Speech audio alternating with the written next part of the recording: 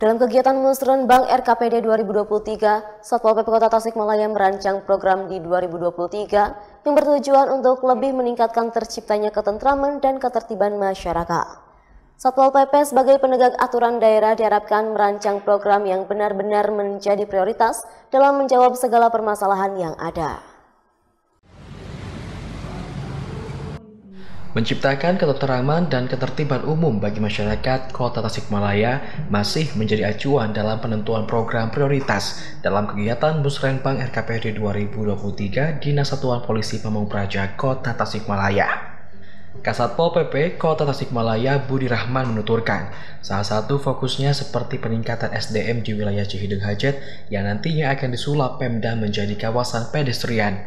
Ia mengakui hal tersebut menjadi tantangan untuk lebih meningkatkan kenyamanan dan ketertiban umum di wilayah tersebut. Hanya itu dari sisi Trantibum ya, ketentraman, ketertiban umum.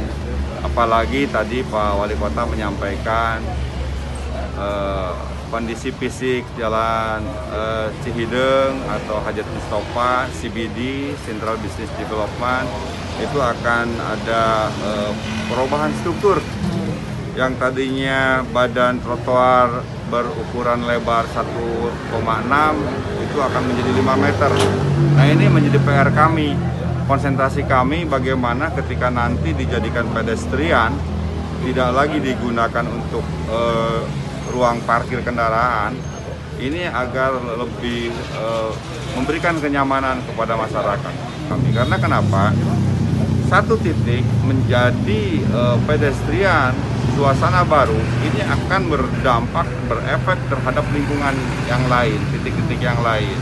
Otomatis perlu ada penambahan kemampuan daripada uh, sumber daya manusia Wali Kota Tasikmalaya Muhammad Yusuf menuturkan Satpol PP menjadi garda terdepan penegakan aturan-aturan daerah baik Perda ataupun Perwas sehingga program yang akan dijalankan di 2023 diharapkan lahir benar-benar jadi prioritas utama untuk dilakukan.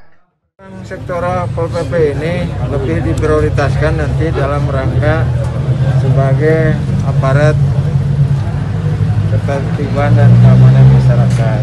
Penegakan Perda dalamnya adalah ada penegakan perda, penegakan perwa, semua yang terkait dengan aturan-aturan yang dikeluarkan oleh pemerintah. Sebab itu, saya mohon dalam pembahasan musrenbang sektoral ini yang akan nanti dibawa ke musrenbang pekan kota, itu betul yang menjadi prioritas Satpol PP kegiatan yang akan dilakukan di 2023. samping mereka juga diminta untuk menyusun rencana pembangunan daerah untuk 2023-2026 karena tidak ada RPJMD sehingga dengan kekosongan itu muncullah RPD dan Renstra 2023-2026 sehingga diharapkan kegiatan-kegiatan itu betul-betul dimunculkan yang sifatnya prioritas. Jadi kalau ada usulan usulan ngawang ngawang awang di luar itu juga disesuaikan dengan kemampuan keuangan pemerintah daerah Yusuf menambahkan setiap dinas juga perlu menyesuaikan program dengan kemampuan keuangan daerah sehingga yang diajukan perlu betul-betul program prioritas yang lahir dari kebutuhan di masyarakat serta mampu menjawab persoalan-persoalan di lingkungan. Rifki Saibani Radar TV melaporkan.